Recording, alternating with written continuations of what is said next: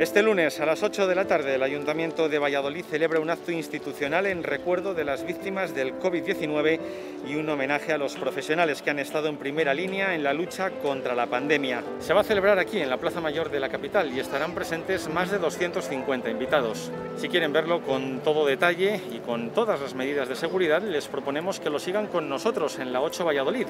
Podrán verlo a través de su televisor y también en nuestro canal oficial en Facebook. Será un acto muy emocionante Recuerden la cita este lunes a las 8 de la tarde en directo desde la Plaza Mayor de Valladolid.